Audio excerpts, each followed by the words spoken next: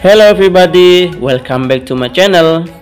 This time I'll show you how to enable split screen on Android. But before go to, to the tutorial, don't forget to press like, subscribe, comment, and share this video to make this channel grow up.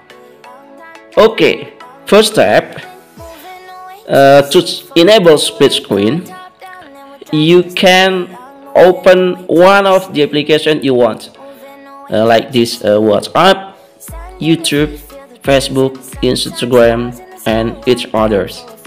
For example, I'll show you to open uh, YouTube first. Now, I open YouTube and then I want to watch YouTube while I'm chatting with someone.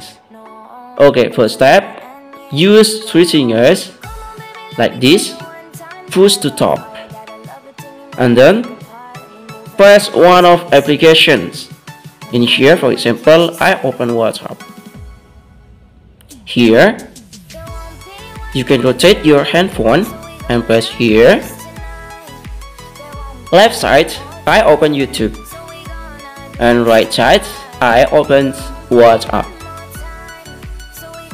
Everybody, this is a very simple how to enable split screen like this and how to go back First, uh, you can rotate like this again. And then pull use three fingers pull to the top like this. And then go back home. Okay this is very simple to enable split screen on android. Okay everybody i hope this tutorial be useful to all of you.